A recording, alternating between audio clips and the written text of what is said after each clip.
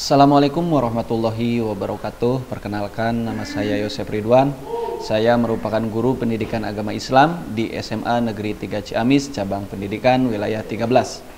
Selain menjadi guru, saya juga mendapatkan amanat untuk menjadi wali kelas dan pembina ekstra kurikuler IRMA.